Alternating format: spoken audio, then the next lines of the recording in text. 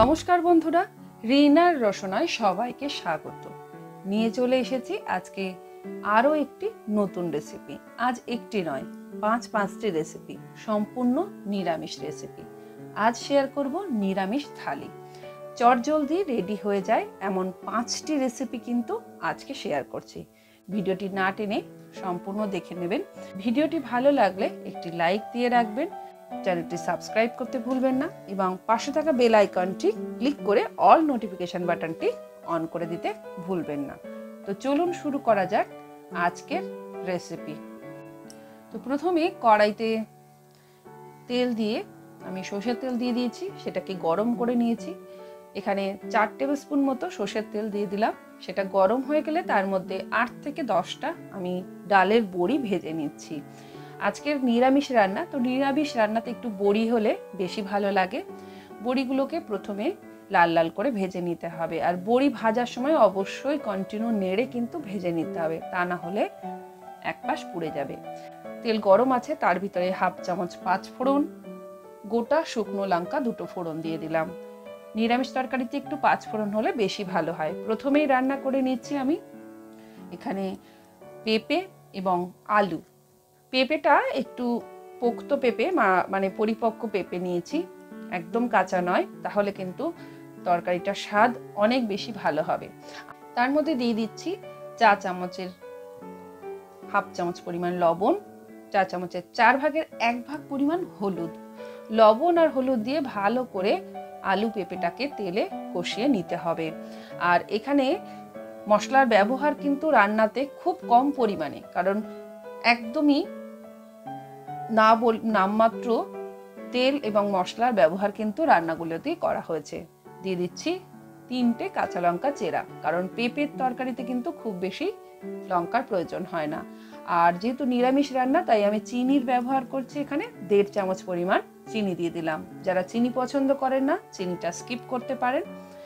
সব কিছু দিয়ে ভালো করে কষিয়ে নিতে হবে। আর কষানোর সময় যদি চিনিটা দেওয়া হয় সেটা দিলে কিন্তু সবজিটা খুব তাড়াতাড়ি কমে আসে। একটু কষানো হয়ে যাওয়ার পর এর ভিতরে জল দিয়ে দেব। আমি নর্মাল জলই দিচ্ছি, বড় কাপের তিন কাপ পরিমাণ জল দিয়ে দিলাম।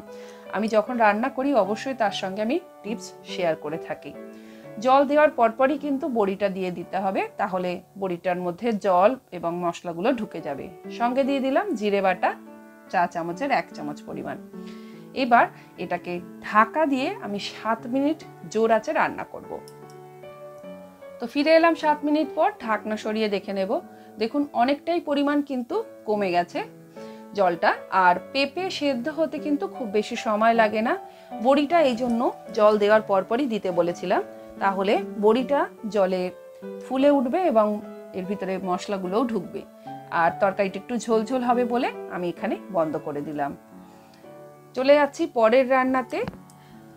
কড়াইতে তেল দিয়ে দিয়েছি চা চামচের দু চামচ পরিমাণ।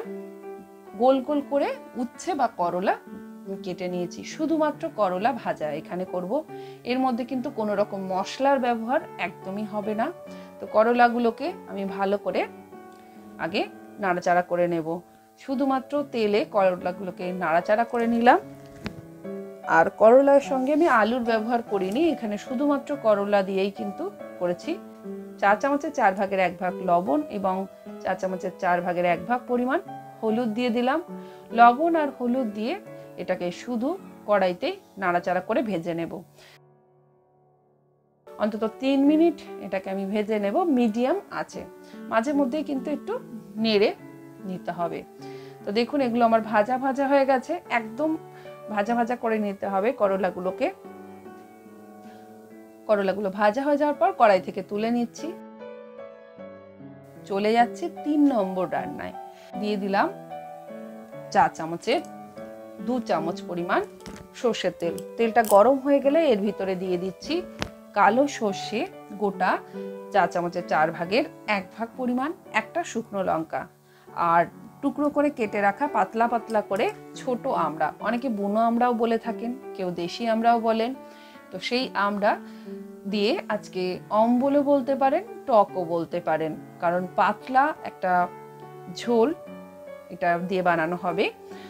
এর ভিতরে দিয়ে দিলাম লবণ স্বাদ মতো, হলুদ স্বাদ মতো। আর খুব বেশি পরিমাণে কিন্তু আমরা এখানে নেই, অন্তত দশ থেকে বারোটা আমরা আছে ছোট ছোট সেটাকে টুকরো করে নিয়েছি, তাহলে সহজেই কিন্তু সেদ্ধ হয়ে যাবে। তো এটাকে একটু লবণ হলুদ দেওয়ার পরে ভালো করে কষে নিলাম। নেওয়ার পর এর ভিতরে জল দিয়ে দিচ্ছি, যেহেতু অম্বল বা টক হবে, সেই জন্যে দিয়ে দিচ্ছি জলের পরিমাণ দু কাপ মানে বড় কাপের দু কাপ, মোটামুটি পাঁচশো এম জল আমি দেওয়ার পর দিয়ে দেব চিনি। চিনি এখানে আমি চা চামচের তিন চামচ পরিমাণ চিনি দিয়ে দিলাম। চিনিটা দেওয়ার পর পাঁচ মিনিট ঢাকা দিয়ে জোর আছে রান্না করে নেব। তাহলে কিন্তু রেডি হয়ে যাবে ছোট আমরা টক বা অম্বল এটা রেডি হয়ে গেছে। এবার এটাকে একটা পাত্রে নামিয়ে নেব। চলে যাচ্ছি চার নম্বর রান্নায়। মুগ ডাল। অবশ্যই বাঙালির ঘরে নিরামিষ দিনের রান্নার মধ্যে মুগ ডাল বলতে মুগ ডালের কথা সকলের আগেই মনে পড়ে। তো মুগ ডালটাকে শুকনো খোলায় ভেজে নেব। মুগ ডাল আছে এখানে আমার ওয়ান ফোর্থ কাপ সো শুকনো খোলায় প্রথমে মুগ ডালটাকে মিনিট দুয়েক ভেজে নেব। ভাজার সময় খুব ঘন নেড়ে ভাজতে হবে, তা নাহলে এক পাশ বেশি ভাজা হয়ে যাবে। মুগ ডাল ভাজা হয়ে যাওয়ার পর এর ভিতরে জল দিয়ে ভালো করে মুগ ডালটা ধুয়ে পরিষ্কার করে নেব। আমি ভাজার পর কিন্তু মুগ ডালটাকে ধুই। ভালো করে ধুয়ে পরিষ্কার করে নেব। আর এটা সোনা মুগের ডাল আছে, এর কিন্তু স্বাদ এবং গন্ধ দুটোই আলাদা। তো ধুয়ে পরিষ্কার করে নেওয়া হয়ে গেছে, এবার সেদ্ধ করার পালা। আমি জল দিয়ে দিচ্ছি, এখানে জলের পরিমাণ দিয়ে দিলাম তিন কাপ, বড় কাপের তিন কাপ পরিমাণ জল দিয়ে এটাকে সেদ্ধ করে নেব। আর ডালটাকে কড়াইতেই সেদ্ধ করছি, সেজন্য একটু বেশি সময় লাগবে। আপনারা চাইলে কুকারও ইউজ করতে পারেন। তো এখানে তিনটে কাঁচা লঙ্কা দিয়ে দিলাম। সেদ্ধ করার সময়। এটা সেদ্ধ হয়ে গেছে আর একদম পুরোপুরি সিদ্ধ করব না, একটু দানা রাখব তাহলে টেস্টটা বেশি ভালো লাগবে। তেলটা গরম বসিয়ে দিয়েছি কড়াইতে, দিয়ে দিলাম চা চামচের দু চামচ পরিমাণ তেল, চা চামচের চার ভাগের এক ভাগ পরিমাণ সাদা জিরে ফোটন দিলাম, গোটা জিরে। সঙ্গে দিচ্ছি একটা শুকনো লঙ্কা ফোড়নে। এবার এর ভিতরে সেদ্ধ করে রাখা ডাল, সেটাকে দিয়ে দিলাম। সেদ্ধ করা ডালটা তেলে দেওয়ার পর এর ভিতরে দেব গ্রেড করে রাখা আদা, চা চামচের এক চামচ পরিমাণ। অন্তত আপনারা আদা বাটাও দিতে পারেন। তো আমি আদাটাকে দিয়ে দিলাম। একদম মিহি করে গ্রেড করে নিয়েছি।